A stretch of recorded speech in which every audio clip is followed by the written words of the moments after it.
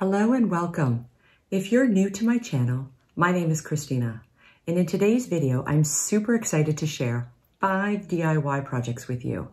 There's gonna be a lot of ground to cover, so let's jump into project one.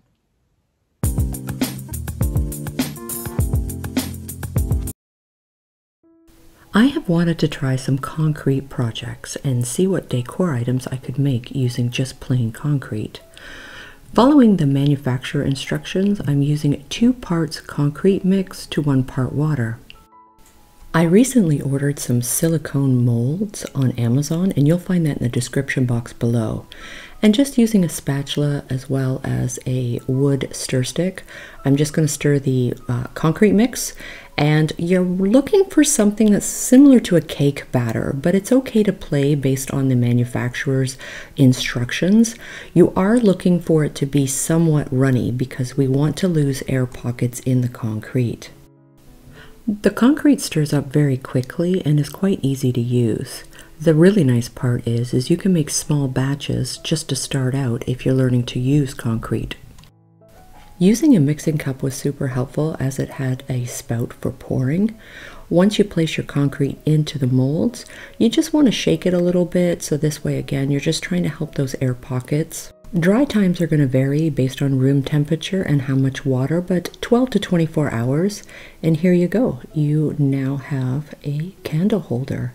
It actually turned out quite nice. I'm quite delighted how simple this was, easy to use, and of course you can reuse the silicone molds for a lot of different projects, but with the concrete ones, these are going to make great gifts as well as your own personal decor. I love the raw concrete look, but if you wanted to, you could always paint them as well. How simple and inexpensive for beautiful decor.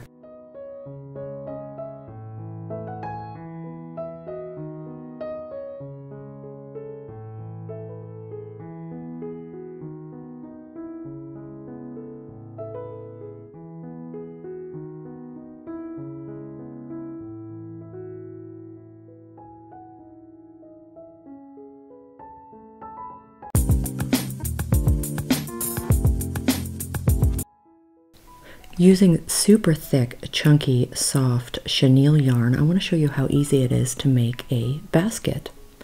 All you're going to do first is make a slip knot.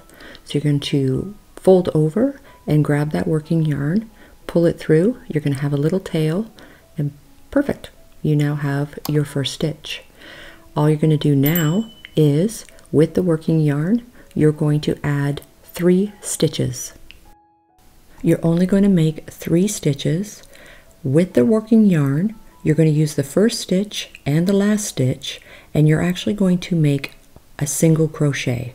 So you pull the working yarn through one loop, then you're going to pull it in into the remainder two stitches, giving you one stitch again. That is a simple single crochet. You're going to go into that first stitch five times with one single crochet. We are going to start a circle wheel and this is going to be the bottom base of the basket.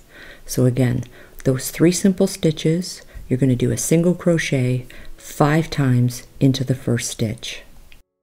Using a paper clip, this tells me how many rows I have. It sometimes can be helpful. So now that I'm in row two, I want to expand the wheel. Normally to add to your wheel, you're going to actually go through one of those loops. But because this yarn is so bulky and I just found it easier to go through both. So what you're going to do for your second row is you're going to do one single crochet in the first stitch. When you get to the second stitch, you're going to put two single crochets. You're going to keep repeating that till you get back to the marker of the paper clip again. Every second stitch is two crochets in one stitch. This will expand the wheel again. Now that I've completed my second row, I'm using my marker, finish my last stitch, then I'm going to put my marker back to, again to start a new row.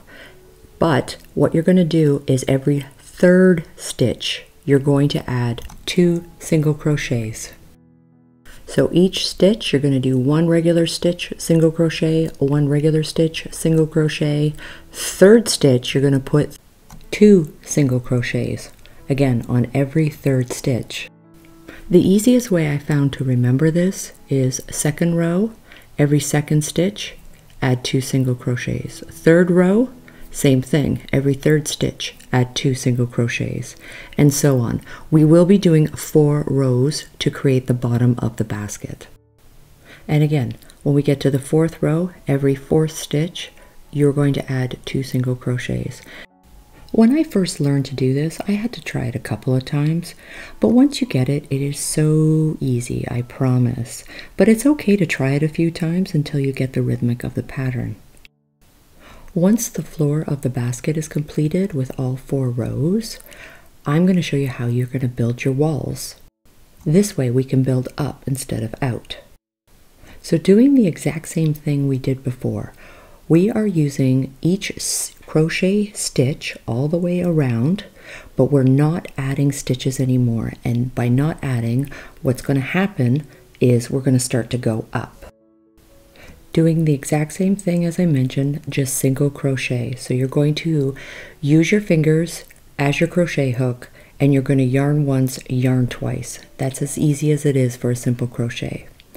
To tie a new skein of yarn, you're just going to make a knot and cut off the little ends and carry on. This project took two skeins of yarn, so you only need two. And it only took about a half an hour to make. All we're going to be doing is going around the entire wheel doing one single crochet and just keep going around. You're going to notice that it's going to start building up. And again, because we're not adding new single crochet stitches in the rows. I love the look of this actually inside out, but you don't have to do that. So you can pick whichever side you like. I chose to do it inside out. To close the basket, you're just going to cut your working yarn as well as with your last stitch, you're just going to go ahead and tie a knot and any remainder of the tail you can just weave it in. The small tail that we started with at the beginning, you can just weave that into the stitches.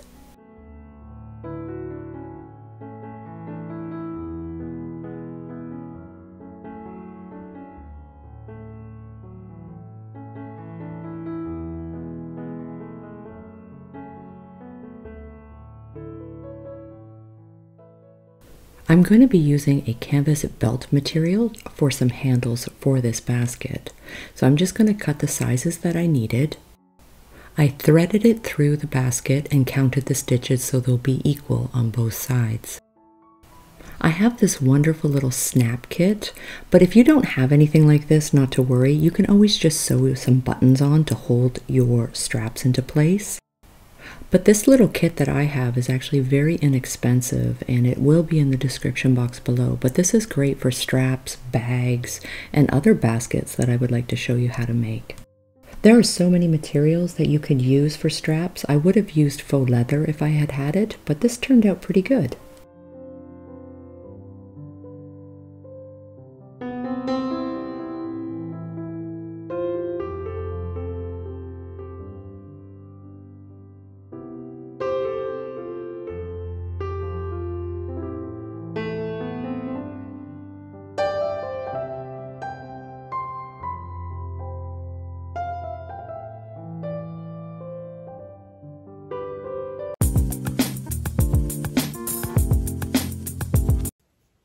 For this project, we're gonna make a super easy chunky knit blanket.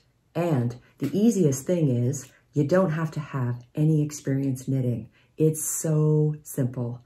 All you're gonna need is some chunky chenille yarn and you can find that in my description box below.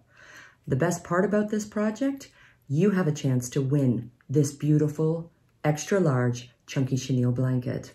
All you have to do is give a thumbs up leave a comment, and if you haven't already, subscribe. I will announce the winner on next week's video. To create this cable knit blanket, we're going to need six skeins of yarn. First thing we're going to do is make a slip knot. So you're going to turn the yarn, then pull the working yarn through, make your first stitch. Now what we want to do is we want to cast on stitches. So pull that working yarn through each loop and you're creating stitches. And we're going to need to cast 30 stitches. To create our second row, you're going to use that top bump, stick your two fingers, grab the working yarn and create another row of just a single stitch. The rule that I do is I drop the last stitch because I'm going to tell you a little bit later. First thing I want you to know is you're going to use the working yarn and you're actually going to create bumps on the top, then you're going to create bumps on the bottom. So I'm going in twos. So two stitches on the top, then you're going to do two stitches from the bottom. You're pulling the working yarn from the bottom of the stitch. It's actually called a purl stitch when you go from the top. But to make it less confusing, I find it easier to do two from the top, two from the bottom.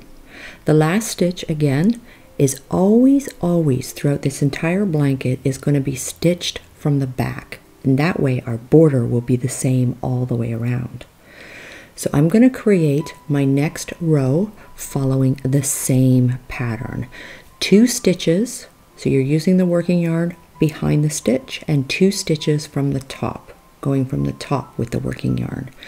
The two side stitches, the two end stitches are always from the back.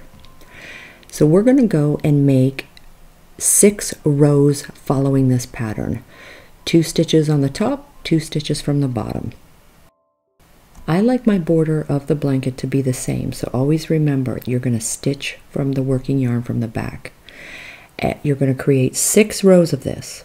On the seventh row is where we're going to do something a little bit different.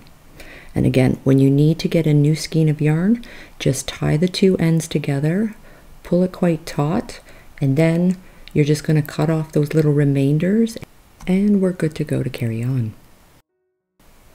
Now that I've completed my six rows, doing the exact same pattern, now we're going to start the cable part. So as you can see, the outside border is matching, and that's because we're doing that back stitch on the last stitch on each side. The key with the cable is you're just going to swap. So using the stitch where we're actually stitching from the back, each of those two stitches you're going to cross them over. You're only going to do this for one row. And that's how the cable stitch blanket works. That's it. Once I'm done this row, finishing my swaps just on those two stitches, and again, that was the back stitch, not the front stitch. Once I've done that one row, I'm going to turn to go into my next row and do the exact same six rows that we did at the beginning. So going back to the pattern, two back stitches, two bump stitches in the front, two back stitches, two bump stitches for another six rows. So every seventh row, we're going to do that cable stitch where we cross it over. It's that easy. That's the only thing that makes a difference for this type of blanket. And it has such a beautiful effect. So again, you're only going to do the cable crossover every seventh row. The remainder six rows, you're just doing the two bumps under, the two bumps over your stitch. So if you're going to be doing any type of cable blanket or you want to make one that's a little bit bigger than this, that's the only thing in the pattern that you need to know is every seventh row, you're just going to cross those over. Now what I want to show you is this is personally what I do. My last row, I just always do the back stitch across. Just like I did at the beginning. I just did a back stitch before I started to make my pattern. I just find it looks tidier to do it that way, but you don't have to do that. I completed this blanket in just over two hours. That's how fast and quick it stitches up. Now I want to show you how to close your blanket. You're going to take two stitches, pull your working yarn through. With your new stitch, grab the next one, pull your working yarn through. So you're just doubling up the stitches that are remaining and closing off the blanket. So now that I have a stitch, I'm going to grab, pull the working yarn through. And I'm kind of working from right to left, even knowing I'm going from left to right across the blanket. But you can see now all the square sides are actually in the same stitch, so it has a nice frame to the blanket. Once you're done, just pull your working yarn through, tie a knot, and any of the remainder tail you can either cut or you can just weave it through.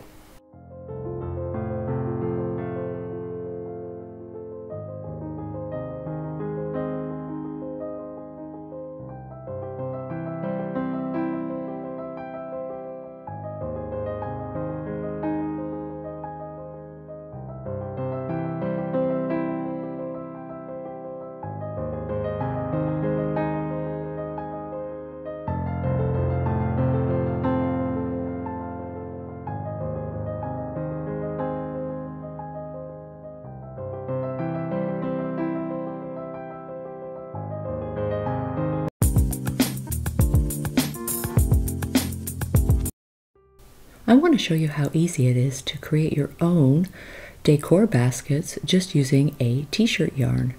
I'm going to use a 10 millimeter crochet hook.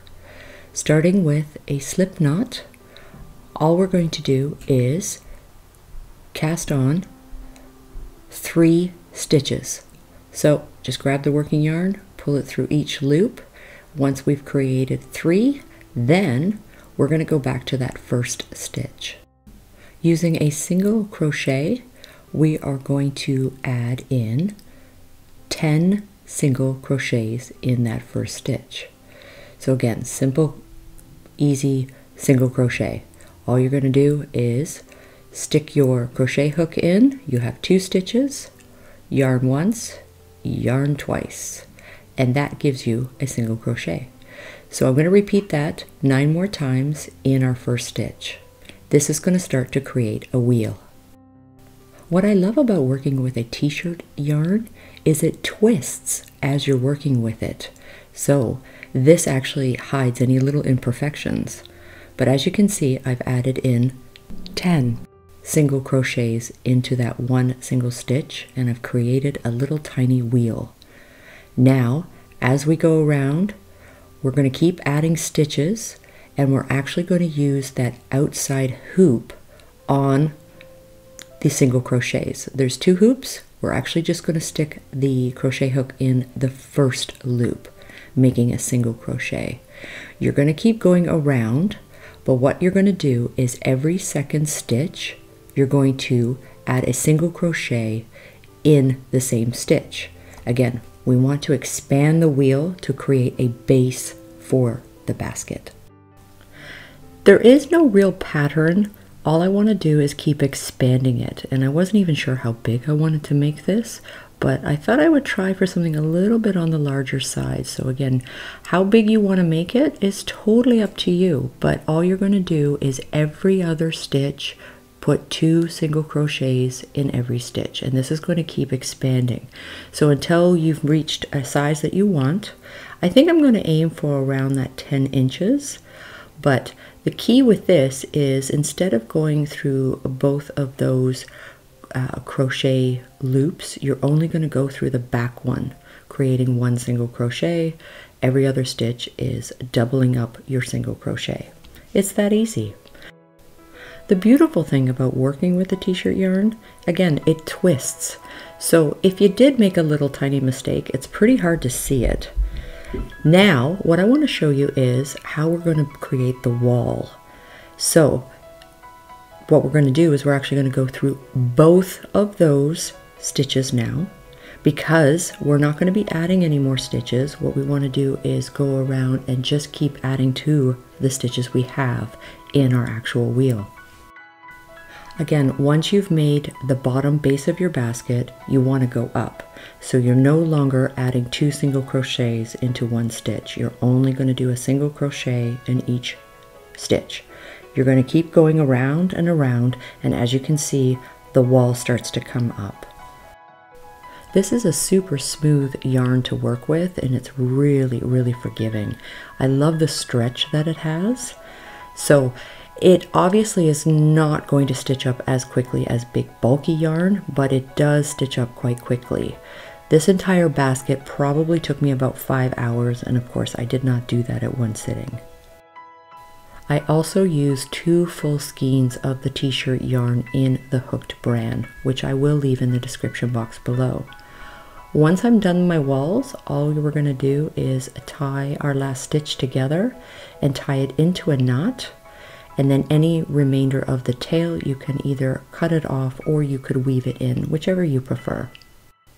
But that's how easy it is just to make your own baskets. And you can do this with jute ropes and other fabrics out there as well. So, but I really love this t-shirt yarn. I'm also going to show you how to create more stability and structure for your basket so it can sit up on its own rather than looking like a bag. Right now I'm cutting some jute rope and I'm cutting it in about 24 inches in length and I need three pieces for each side tying a little knot on each end. I'm just going to braid and all I'm doing here is just creating handles. Once you're done the braid, you're going to tie a knot at the other end and you want the knots to be fairly thick and you want to really push them through one of the stitch holes. And again, I just count how many stitches in between the first part and to the second part of the handle and match it up so it's equal on the other side. Because I didn't follow a distinct pattern, I just kind of stitched as I went, it turned out to be 18 inches wide and 14 inches in length.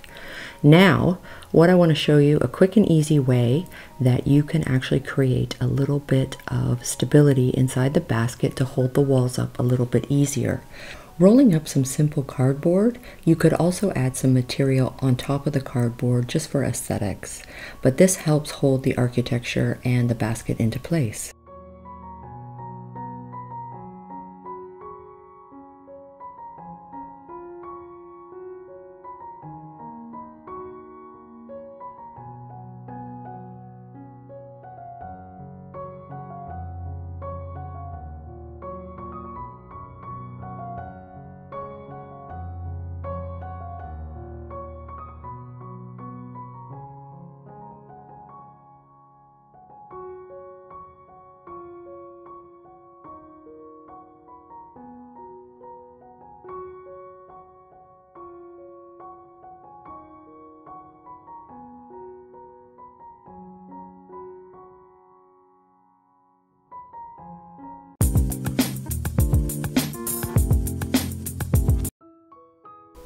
Using the same concrete mix as we did in the beginning of the tutorial for the candle holders, I have some silicone molds which I thought would be interesting to create new drawer handles or drawer pulls for furniture pieces.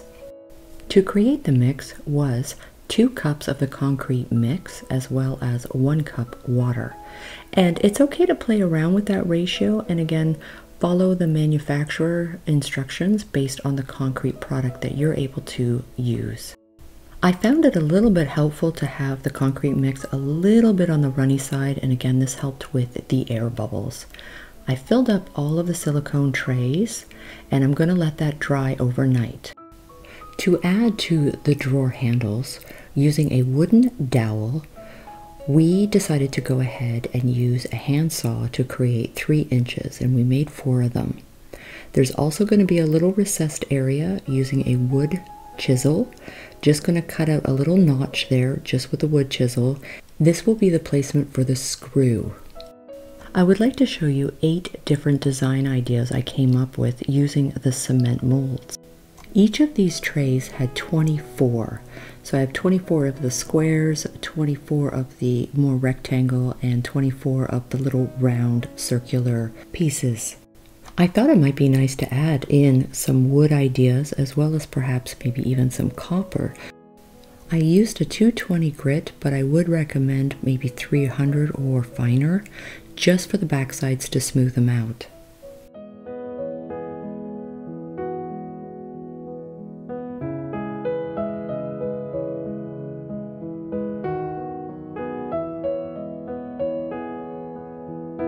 To place everything together, we're going to use the Gorilla Epoxy Glue. We're also going to be using an assembly nut, and we're going to be using the machine screw. The assembly nut is actually going to be for some of those notches that we have in the back, and this is going to be the full placement as part of the drawer handle. So the epoxy is a pretty easy mix. You only need to put out whatever amount that you need and you do not need very much. If you wanted to, you could also use the E6000 glue as this is a fantastic glue for the same project. Just using a tiny, tiny amount of the epoxy, we're going to be using the long copper caps as well as some short ones and just going to play around with a few of the designs based on the concrete molds that we had used. So it's pretty easy to adhere everything together, again with the either epoxy or you could use the E6000, but there's lots of other designs you could create with similar materials.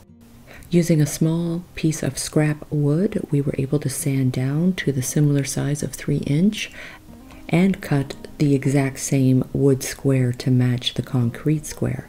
Again, just playing around some different ideas, and a lot of this was actually inspired by Anthropologie. If going through the hardware listings on their website, they have some similar ideas, so it was inspirational to see other ideas